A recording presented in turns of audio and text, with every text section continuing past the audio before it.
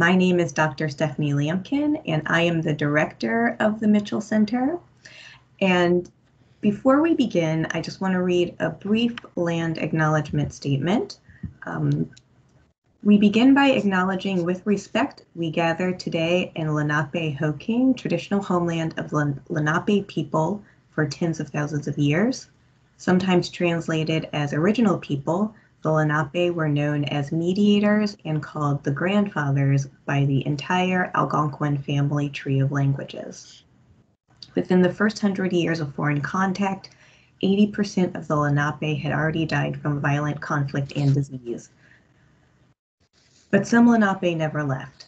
Hiding in plain sight as keepers of the land, the Lenape Indian tribe of Delaware based in Cheswold, Delaware, the Nanticoke Lenni Lenape tribal nation in Bridgeton, New Jersey, and the Ramapo Lenape Nation in Mahwah, New Jersey are three of the thriving Lenape communities today. Let us acknowledge the historical and ongoing presence of the Lenape and the Nanticoke on this land where we now live, work, and celebrate all our relations. So we are really excited to introduce Deanna Mitchell, who is our guest speaker today for our um, Harriet Tubman virtual program in celebration of Harriet Tubman Day uh, today on March 10th. Um, uh, just to tell you a little bit about Deanna, Deanna Mitchell currently serves as superintendent of the Harriet Tubman National Historical Park in Church Creek, Maryland. With a total of 32 years federal government experience, she began her tenure with the National Park Service in 2005 as site manager for what is now the Tuskegee Airmen National Historic Site. From 2016 to 2018, she served in the National Park Service, Bevinetto Fellowship Program as a Legislative Affairs Specialist in the Office of Legislative and Congressional Affairs in Washington, D.C. In 2015, um, Deanna spent seven months on detail with the Department of the Interior's interagency team implementing the Every Kid in a Park initiative. Um, and so today, um. Deanna Mitchell will be sharing with us um, a presentation titled A Thread Runs Through Them 19th and 20th Century African Americans Who Have Cultivated and Preserved Our Lands and Their Impact. So thank you and welcome, Deanna. Thank you, Stephanie. It is so good to be with you again. And um, it's funny because this is our, our second connection over the past couple years, and I'm always so thrilled um, to uh, receive requests for speaking engagements from you because um, we have we share uh, a similarity with regards to um, the Mitchell Center and your audience as well, um, the National Park Service, we're about education. And so this fits right in with our mandate. Uh, so thank you for allowing me to be a part of this special presentation. So as Stephanie mentioned, um, in thinking about um, how uh, best to present this information to you today, um, a thread runs through them. Um, I, I really wanted to make sure that this presentation was holistic in manner. In other words, um, we have been blessed with uh, individuals who who lived on these lands, um, you know, 19th, 18th, 19th, 20th century, who have really, really uh, provided um, an example of conservation, environmentalism, preservation. And um, I think through this effort today, I hope that I, um, you know, pique an interest for you all to kind of uh, further learn about those types of individuals um, and how this is this all kind of represents our natural world. So um, let's let's go ahead and begin with the presentation. Uh, next slide, please, please. So today, basically, I'm going to be defining what our great outdoors is, or in other words, the, the way the National Park Service refers to it is our natural world. Um, who uses our natural world, And then I'm to segue into a little bit of history about the National Park Service and the Underground Railroad. Um, next, then that's I will dive into the historical connections to the natural world by African Americans, and then how and what they did during their time uh, here uh, on these lands impacted and influenced other generations to follow in their footsteps. Next slide. So I think it's important to take a look at our natural world then. Um, as you can see from some of the pictures, um, this is this is really what our lands looked like back in the 1800s when we were really struggling um, and trying to develop. People were moving out west to see what they could do to eke out a living. We had indigenous people who who were on these lands way before anyone settled here, who were being moved uh, off of their lands. Um, and then, of course, we had African Americans who were bought over on uh, slave ships um, and put to work as slaves. Um, you know, they were, this was their way of living. So they were in the lands at the time. So, how do we define our natural world? Well, back then, it was by its origins. Um, and I've mentioned a couple of those um, just a few minutes ago. Um, by its purpose, of course, uh, labor, habitation, and then landscapes. So, um, and I think that last one, landscapes, is is is pretty significant because um, most of the landscapes that we are that are around us um, have been untouched. They remain unimpaired as they were when when this planet was created. Um, now, there are some connections that I think are significant with regards to the natural world back then. And um, for instance, genealogy, our descendants. I think we all, you know, have that curiosity to about, hey, where did I come from? You know, what, you know, um, what was my family like? Where, where did, where did they live? Those types of things um, museums and through education, our educators, such as you. Um, so that's kind of a snapshot of what our natural world looked like back then. It was basically a way in which to eke out a living, specifically eke out a living, and it was also labor based. Next slide.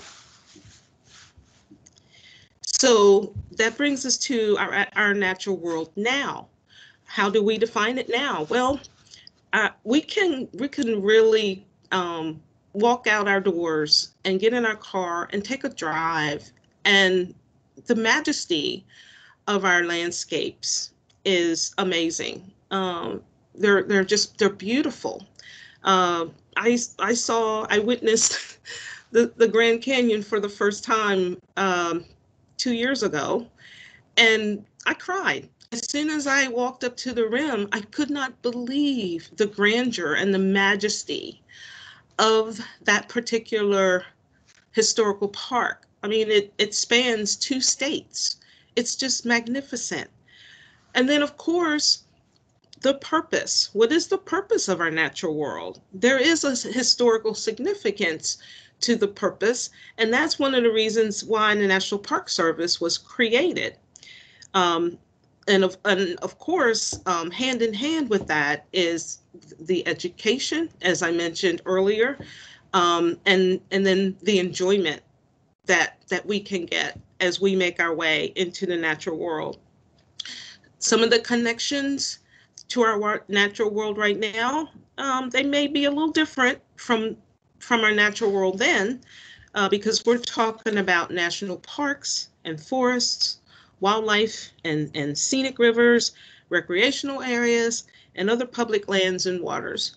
Um, and as you can see um, from the photos that are on the right, that kind of gives you an idea of, of what we of what we can enjoy and and what we can feel blessed to be around and to be able to access. Next slide, please.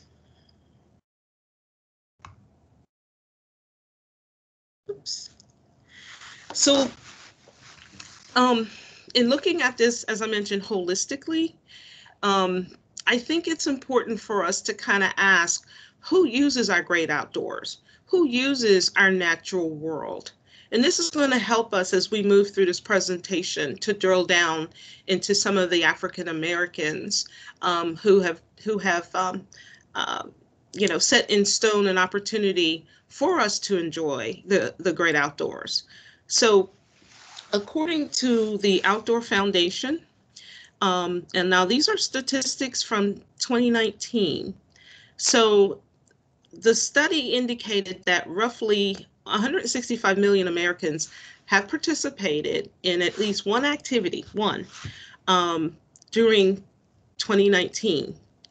Now, when you think about that, that's about half of our population because our population is uh, roughly 359 million people.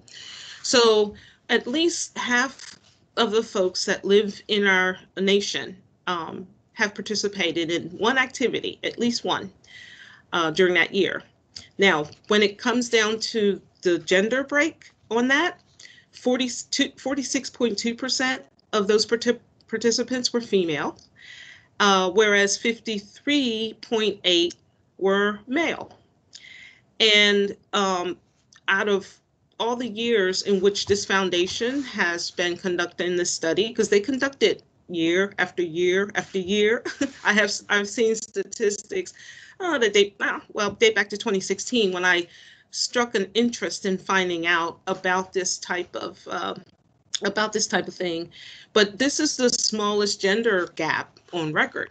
So what's what that's telling us is that women are um, out there, um, you know, out there just as much as as men are um, with um, enjoying our, our natural world. Um, the the one statistic, however, or the two statistics, the two statistics, however, that are are still a little bit concerning are blacks and Hispanics, uh, because they remain the lowest um, uh, underrepresented group within the study, and and this has been something that has been um, that they've seen from year to year to year. Um, and I'll show you a breakdown in our next slide of what I'm talking about. Next slide.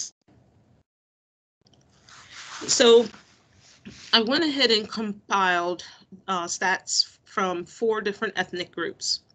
And then I categorized them just to take a look at, at how the numbers ebb and flow. So as you can see, uh, whites um, are on the very top row. Their participation in the great outdoors is 50%. The question for column two, uh, do you have the skills and abilities to participate outdoors in activities? 16% uh, of, of whites said they do not. And then the last column, is it too expensive for you to participate in activities outside um, in the great outdoors or in the natural world, and that's 18%. Um, the next the next row down are the Asian Asian Americans, and as you can see, their participation is right there with with whites. It's one percent above, and a little bit of similarity in the other two areas. Um, two percent difference under uh, whether or not they had the skills or abilities to um, participate outdoors, and then 17% saying that it's too expensive. Then we get down to Hispanics and Blacks, and as you can see, um, the fourth row for Blacks, the participation is the low lowest out of the four groups, 33%. And then the highest when it when they're we're asked the question of do you have the skills or abilities to participate 21% um, which is a little, you know, of course, a little high. And, is, you know, uh, is it too expensive? And again, um, another, you know, high statistic.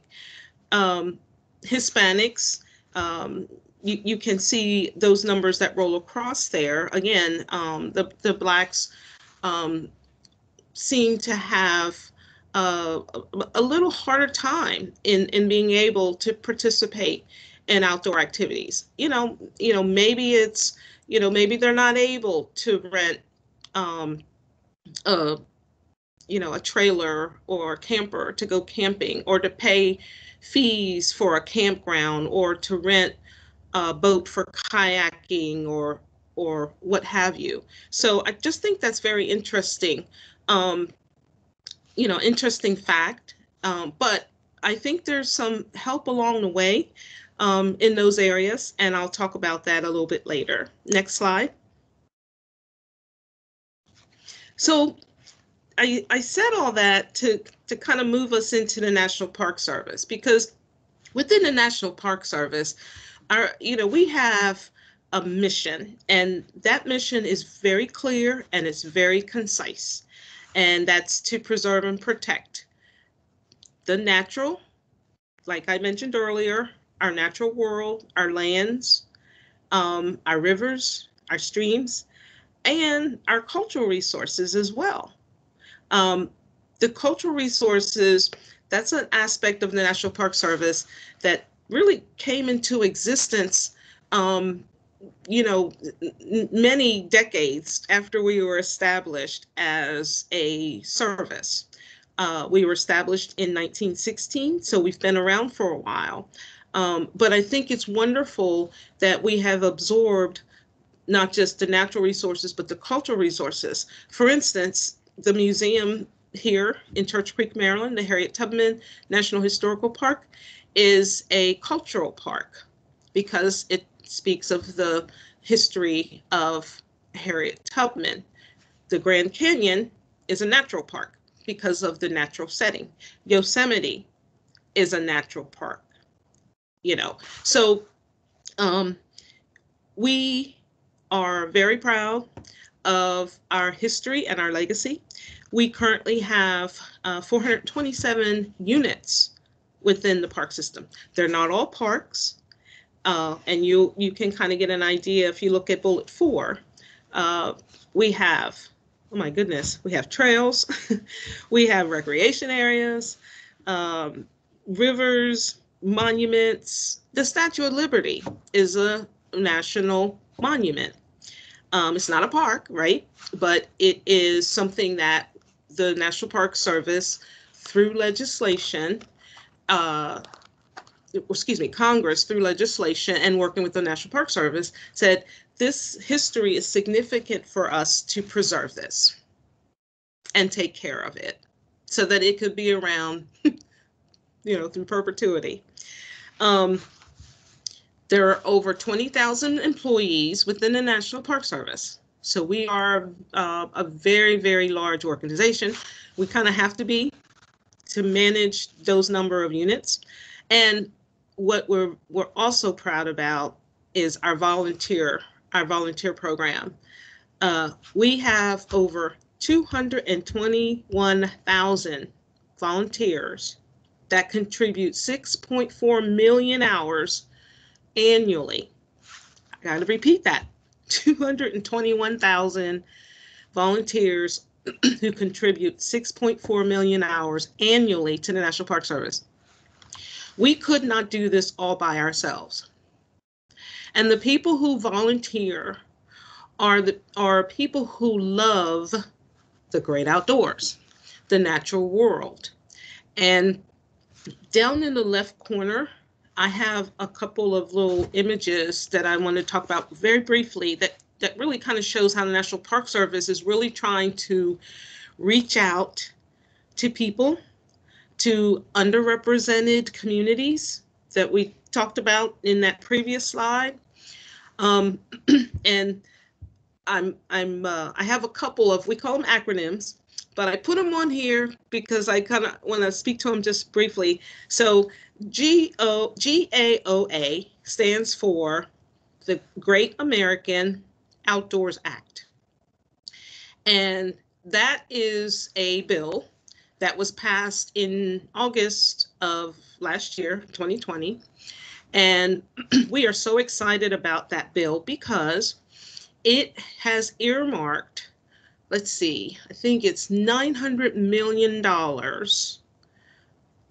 every year for five years for the, for the uh, National Park Service and other agencies that fall under Department of Interior to help, um, uh, let's see, in other words, like to work on our infrastructure, um, to take care of maintenance on some of our facilities and our units that are that need help. You know, some of some of our facilities have been around for years, and there's not been money to put into helping to restore them. But this act allows us to do that. And we don't want to have crumbling structures for for the public to come and visit. So Go Goa, that's how you pronounce it, G O A A, G A O A. Goa is something that's really going to be beneficial for the next five years for us to really, really take a look at our infrastructure. And then the other little piece to this, every kid in a park, that is something every kid, every kid in a park, EKIP. That is a program that President Obama um, wanted to pursue uh, back in 2015, and he he he gave it to the Department of Interior, and and said, "Here's the concept and idea that I have, and can you please develop a program, uh, you know, to to meet these goals that I have." And I was a part of the team. I, I was on uh, took a detail to be a part of the team, and every kid in a park is a way that um, the National Park Service, Fish and Wildlife Service, there are a number of other bureaus within in, Interior. We all came together and we developed a program where fourth graders fourth graders would be able to visit any park that that they and their family wanted to, and it would cost them nothing. There would be no entrance fee. Um, and the, the good thing about every kid in the park is there were we had partners in the transportation arena who were wonderful. And they stepped forward and said look we will help this program with this program by providing transportation for families who aren't able they don't have transportation to these parks. So we had greyhound i mean we had everyone involved in this program. And um and it was great because the uh, the fourth graders they learned about it in school their teachers of course, knew about it. We worked through Scholastics to build this program. It was an online program in which the, the teachers um, could, could take to the students. The students, they would go through a number of activities to get their card. They would download their card. They presented this card, and it was for a whole year. They could go to any park that they wanted with their families. Um, and I tell you, we really did reach out into those communities um, that were just thirsty to learn more about our natural world, our great outdoors. So, and there are other initiatives um, that we are working on. Um, the Every Kid in a Park was so successful. Um, and it's it's amazing because we absorbed the funding to do this in-house, right, within Interior, but it was so successful that Congress took up the mantle and said, you know what? Why don't we secure funding for this to happen year after year after year? It, they changed the title, of course, it's Every Kid Outdoors. And now there's money to help with Every Kid Outdoors. So um, that's just an example how we're really trying to help boost some of those statistics that we saw earlier. Next slide, please. So, um, Harriet Tubman Underground Railroad National Historical Park. That is a picture to the right of our visitor center. and it was established back in 2013 as the Harriet Tubman Underground Railroad National Monument by President Obama. And after he proclaimed that, Congress went to work to establish the legislation. You, you know, you always want to have legislation because a les- what, leg- what legislation does, it provides funding, federal funding. So they went to work immediately after that, and they established legislation for the uh, under public law 113-291 for the Harriet Tubman Underground Railroad National Historical Park. And that established our park in Church Creek, and then it also established the Harriet Tubman National Historical Park in New in Auburn, New York. So um, we have a sister park, and we're proud of that sister park because this is where Harriet Tubman was born in Church Creek, Maryland. And she, of course, escaped in 1849, secured her freedom in Philadelphia, and she eventually landed um, at her home in Auburn, New York, where she is also buried. Um, so, and once that legislation was developed by Congress, the monument and the historical park became one unit. So we are just referred to as the Harriet Tubman Underground Railroad National Historical Park. That is our address. Please write it down because we would love to see if not if you have not been here yet. Next slide, please. So these are just a couple of um, images from inside our visitor center. It opened in 2017, so it's still fairly new. You can still smell the fresh paint. Um, and we have a cooperating association, Eastern National, um, and that's an agreement with the National Park Service. So our Eastern National is our gift shop. So, you know, people when when they're out and they go to a museum, you know, they may want to make their way into a gift shop to to purchase some things that they would like keepsakes that they would like to take home with with them. So, we opened in March. So from March 2017 to December, our visitation was 120,000 people. That's a lot of folks uh, in 10 months and our our we netted our sales were two hundred forty three thousand eight hundred and seventy five dollars. Um, now we are not a big museum, but because of the interest of Harriet Tubman, people came. March the 10th is significant. Um, today is March the 10th, 2021. This is, um, you know, when Stephanie asked me to be a part of this, I totally understood what she was getting at because you know, March 10th is declared Harriet Tubman Day, as you all know, um, you know, um, in the in in the United States. Um, I think George Herbert Walker Bush in 1990 uh, declared that. Um, it's also Women's Woman Women's History Month. So you know we we're two for one here, um, and then of course March 10th, 1913 is also when Harriet Tubman passed away. So there's a lot of symbolism around that date of March the 10th. The significance of our museum here is it does serve serve as a regional example of the larger and diverse international network to freedom that involve freedom seekers and their and their allies. So this is where it all started from for her.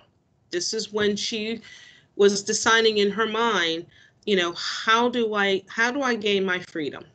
So we're very proud of our center here.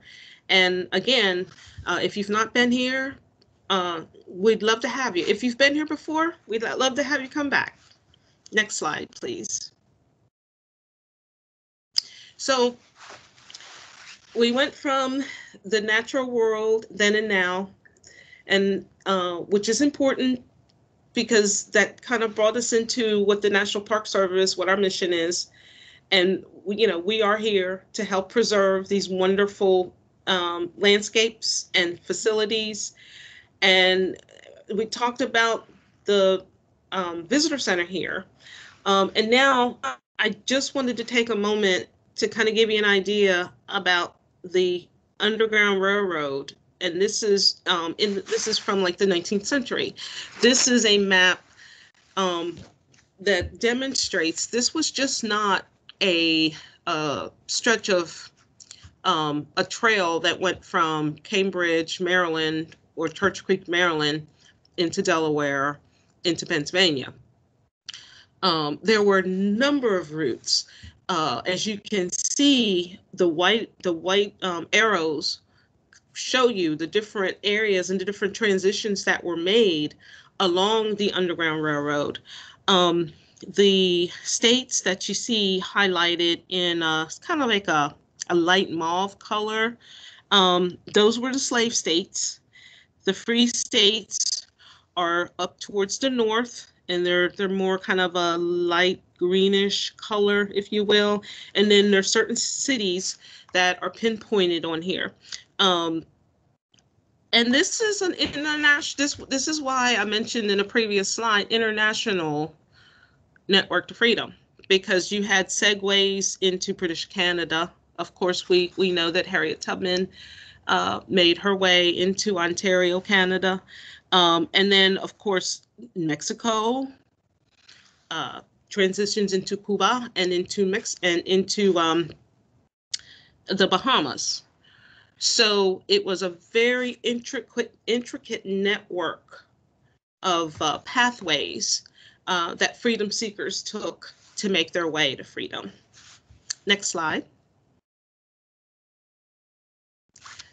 So the state of Delaware, um, we definitely want to give a nod to the state of Delaware because I think really one of the most beautiful monuments that I have ever seen is the unveiling. I, I call it the unveiling. Um, to see Harriet Tubman, you know, there, and uh, Thomas Garrett, and to see the the child that she has, um, and the refugees that are are there with her, the child that is literally um, was given a little bit of something to to um, you know allow them to uh, not cry and be quiet um, as as uh, she was transitioning fam- families north.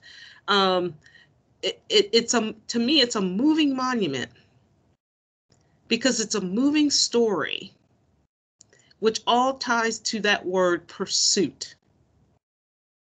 Pursuit of freedom, pursuit of happiness.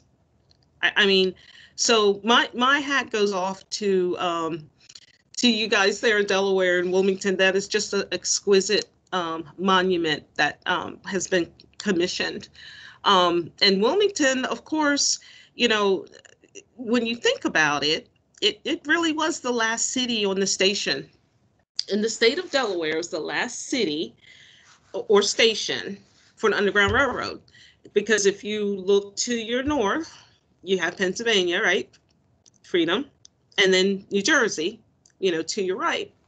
So, um, what a pivotal place, and um, you know, uh, that that really um, put Delaware on the on the map. You know, during during the time of, of the Underground Railroad. Now, again, uh, I think there are like seven.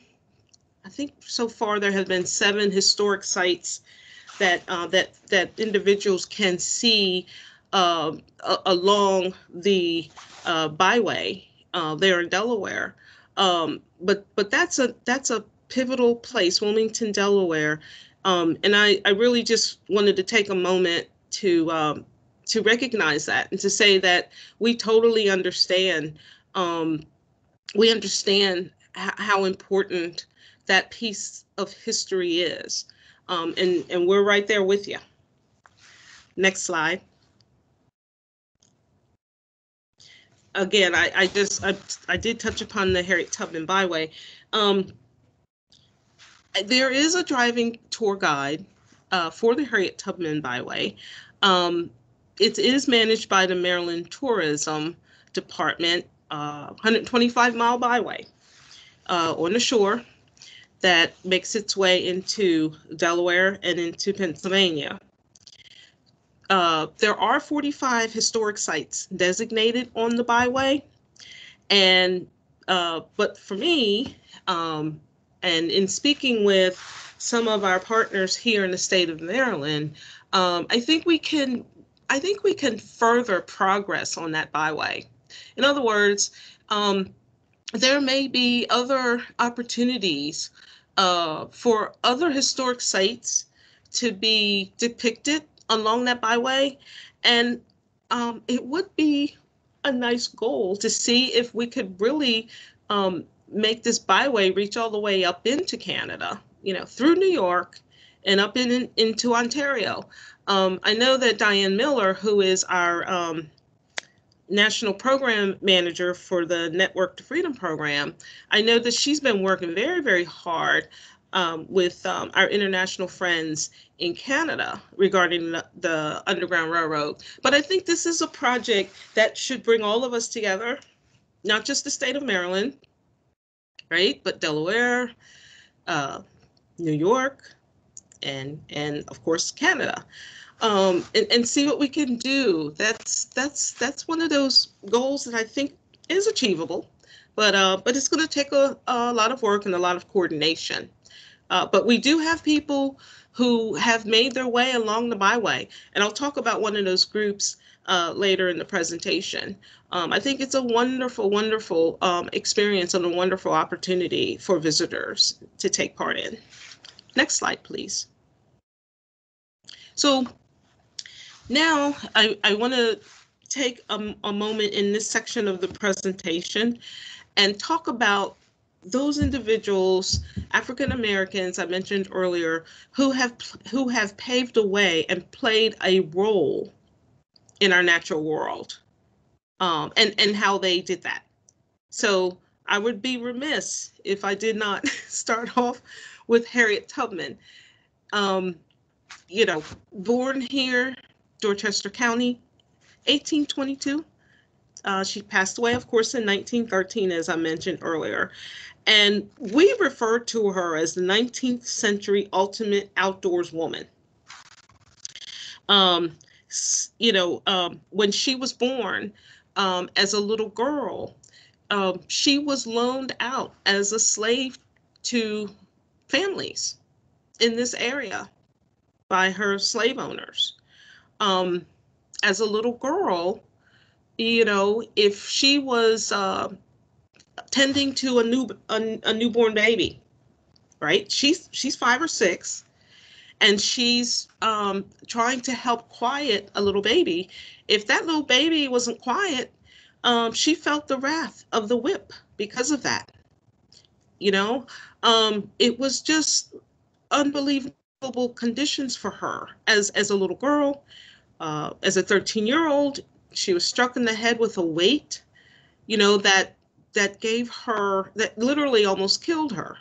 And she suffered from that injury for for her entire life. She had seizures because of that. So harriet was not really the type of person who preferred domestic work because of the the treatment that she got. So she she would much rather be outdoors and that's what she did she learned her trade of timber harvesting from her father. She worked out with the men. She was strong as an ox. And um, when she when she emancipated herself in 1849, um, she really rose to the level of the most famous conductor on the Underground Railroad. People refer to her as Moses. Um, she was a very um, spiritual woman, and she felt that if she just listened to God, the messages that He was sending her, that she would be successful in her pursuits. Um, because of her abilities to navigate by the stars, by the North Star, by the Big Dipper, um, the Union Army they called on her to to be to help them to, you know uh, during the civil war and she stood up to the challenge and she not only was a spy for the Union Army, but she was a nurse. She was a cook. She did anything that she could do to help um, end slavery. Now, her connections to the real world, or excuse me, to the natural world, well, I think you know you can look at some of the bullets that um, I have there on the slide. Of course, survival was key. You know, she knew the tributaries around here. She knew the paths. You know, she knew how to, you know, she used to trap muskrats, right? So she knew what she could eat in order to survive um, and to help others to survive. Um, that she just had this ability to understand uh, navigation, and that really, um, that really is one of the things that she's really known for. Uh, you know, she didn't have a compass, she didn't have a phone. It was all up here. It was all up in her brain. It was what her father taught her. Um, and that's why we consider her the the ultimate outdoors woman. Her legacy, we are carrying it on here in Church Creek, Maryland, and as I mentioned earlier, our sister park in Auburn, New York. There are many other um, uh, entities and organizations throughout the nation that do honor Harriet Tubman. Yes, I, you know, we're not the only ones, right? But we are the ones that um, hopefully um, people will recognize that this was a national designation of, of her legacy. So, next slide, please. The second individual that um, I wanted to just briefly talk about today is Colonel Charles Young, uh, born 1864. He passed away in 1922. And uh, I kind of looked at him as a 20th century 20th century conservationist. Um, born into slavery, and uh, but was a very very intelligent um, young man. Uh, you know, he graduated at the top of his class in uh, in uh, high school in Ohio, and um, attended West Point. Now, during that time, it was very, very, it was very, very difficult um, for any African American uh, to make their way into West Point, but uh, but he did. Um, and so, you know, 1884, he graduated in, eight, in 1889, and only two other African Americans had been to West Point uh, prior to him. Um, one of the things that I'm really proud about uh, with uh, uh Colonel Young is that he was the very first African American superintendent of the National Park Service. Now, we were founded in 1916, but prior to um, our designation in 1916, we fell under the Department of State. So um, we still were um, designated to preserve and protect uh, our natural uh, resources at that time, but we officially became the National Park Service in 1916. That's why you see the difference, why you see in 1903 he was appointed as, uh, that's because we were still serving uh, in a role of preserving our natural resources, but under the Department of State. Um, Sequoia National Park, the first superintendent. That's unbelievable. Um, but his role at that time was um, helping to develop the park, helping to build trails for their wagons. Right, all right. We're talking about, you know, we're talking about, uh, you know, the, the early early 1900s. Um, this this was important for visitors to be able to get in and to uh, enjoy Sequoia National Parks. Um, he led the Buffalo Soldiers. Um, I don't know how many of you know about the Buffalo Soldiers, but literally the Buffalo Soldiers were actually the first park rangers in a national park. By horseback, it was their role to uh, be on the park grounds of Yellowstone. And not only Yellowstone, but there were other places in which um, they served as park rangers. So um, that's an important piece of our history that a lot of people may not know about. But Colonel Young was very pivotal and important in helping to lead those park rangers and to do the work to help establish access for people to enjoy Sequoia. He is also commemorated through the National Park Service, and um, and that's through the Charles Young Buffalo Soldiers National uh, Monument, which is in Wilberforce, Ohio. That's that was his home. And then we have George Washington Carver. 1864, he passed away in 1943. We look at him as a 19th and 20th century botanist. He was an inventor and he was an agricultural scientist. So, uh, born in Diamond, Missouri, um, 1894. Um, that's where he received his de- his degree in botany at Iowa State Ag- Agricultural College, and he really enjoyed what he did there in Iowa. He um, developed some amazing um, uh, opportunities uh, for agriculture and for medicine. Um, but but back in Tuskegee, Alabama, um, uh, Booker T. Washington, who was the founder of Tuskegee Institute, actually it was first called Tuskegee Normal School. Uh, he founded that in 1881, and he had heard about uh, Dr. Carver, and he wanted Dr. Carver to leave Iowa from the university there and come and head up his agricultural department that he wanted to build up um, and at, at Tuskegee Normal School.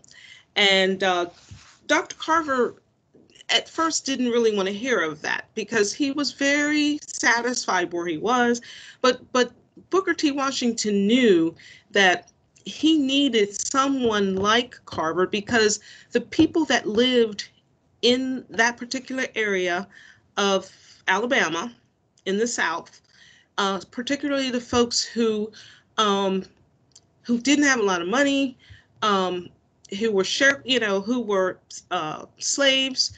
Um, he knew that they needed an opportunity to learn how to work the land in order to, be able to have food.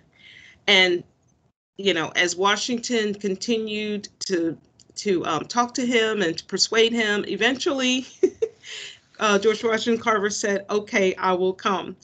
And they had a wonderful partnership. The department uh, flourished. He got out in the community. Um, he he talked about um, he he he showed the people of the community how to to turn their crops, how to live off the land. Um, sweet potatoes, soybean. He was known. They, many people called him the the peanut man, um, but he was a conservationist, an environmentalist, and he was there to help poor families. Um, to this very day, uh, I think it was um, established in 1973, the George Washington Carver Museum. It is there at Tuskegee Institute. Um, so, in those three pictures that I have there, the third one at the bottom, as you can see, he is shaking hands with President Roosevelt. President Roosevelt was so eh, um, excited about what he was doing there at Tuskegee Institute that he made his way to Tuskegee several times, a number of times, to partner with uh, Dr. Carver, and um, it you know it was just kind of like a match made in heaven. Uh, they really supported each other. Next slide. So those are three individuals I just wanted to kind of talk to you a little bit about today. This ties back to a thread runs through them. And as you can see, I've weaved a thread from Harriet Tubman into Colonel Young into, into George Washington Carver. you can see that they have a, a number of similarities in their contribution to the natural world, to the great outdoors. Harriet Tubman, survival, cultivate the land, and what she did was a benefit to others. Colonel Young, cultivate, cultivate, right? Preserve, he's a superintendent, and also a benefit to others. Uh, George Washington Carver, survival, cultivate, preserve, and a benefit to others. So, you know, I always want people to kind of ponder and to think how how did their connections translate to African Americans and the outdoors in the 21st century and for generations beyond. In other words, um, what do we see from their works? You know, how do we see that kind of transferring into, uh, you know, current day? Next slide, please. So um, there are a number of organizations, uh, African American um, organizations, uh, not just African American, but um, there are other members um, as well, Asian Americans, uh, white Americans, um, but they have formed and they've organized to get out there and to get involved. Get out there and get involved. Um, just to go over a couple of them, uh, minorities in agricultural, um, natural resources, and related sciences. This is a phenomenal organization, and it's a nonprofit, and it promotes the academic and professional uh, advancement by empowering minorities and associated fields to, to produce a diverse pool of talented leaders. Um, and to be very, very honest with you, this is a product of George Washington Carver. It really is. Um, and I have um, had the uh, luxury or the pleasure of meeting a number of very bright young leaders within that organization um, that are setting that setting an example for the next generation. Um, then there's outdoor outdoor Afro. This is another nonprofit, and it's particularly, you know, African Americans, um, and they're, they're looking at a way to have them reconnect to the natural world through outdoor recreation. Um, so, you know, um, there is there is a statistic, and this goes back to the Outdoors Foundation, that people who um, experience the great outdoors um, as a child or in their teens, as they become adults, because they've gone through that experience and because it's just become a part of their life, their children tend to follow suit. In other, in other words, they tend to grow up in, in, in the same with the same exposure. Um, and this is one of those organizations I think that is um, that's paramount paramount for um, you know getting people to really kind of get outdoors and and enjoy that part. And what's amazing is they reach 40 40,000 people per day um, through their website, through their um, social media. So that's an amazing organization. Next slide. Girl Trek, and many of you may have heard about Girl Trek. Um, again, another nonprofit. Their focus is is public health. What better way to focus on your health than being outdoors? Um, and I have seen this group in action. Um, they are grounded, totally grounded in the history of civil rights and the principles of walking, uh, community leadership, and health advocacy. Um, actually, they they were their goal. Um, you know, they have a goal, and I'm I'm not sure what leg they are on right now, but they have a goal to walk all 125 miles of the Tubman Byway. And what they do is they break it up into a number of years. So one, I, I'm not sure exactly when they started, but like the first year, they did 20 miles. And then they'd come back the next year, and they do 20 more, 20 miles, 20 more miles until they get to 125. And they are they were inspired because of Harriet Tubman. They do this in honor of Harriet Tubman. They wear Harriet Tubman, um, you know, uh, shirts, T-shirts, and and you you name it. Um, and they do make they their way here every year um, in their pursuit of their 20 miles. So, a wonderful organization.